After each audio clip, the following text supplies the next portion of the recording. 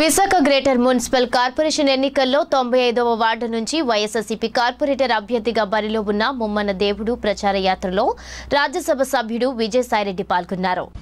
తొంభై ఆరవ వార్డు సోదరి సోదరి మనులందరికీ పేరు పేరున నా చేతులెత్తి నమస్కారం జోడించి నమస్కరించుకుంటాను. గౌరవ ముఖ్యమంత్రి వర్యులు శ్రీ జగన్మోహన్ రెడ్డి గారు ప్రజారంజకమైనటువంటి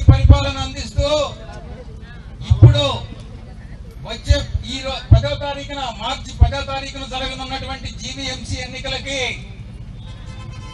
మన తొంభై ఆరో వాటి అభ్యర్థిగా సరగడం అప్పలనాయుడు గారిని ఎంపిక చేసి ఆ యొక్క విజయ విజయావకాశాలను పెంపొందించి ఆయన్ని గెలిపించేటటువంటి బాధ్యత మా అందరి పైన. అధిప్రాచి నేను మన కన్నబాబు గారు అమరు బాబురావు గారు అందరం కూడా అంద- ఇందుకు ఇచ్చేసినాం ఇప్పుడు ఈరోజు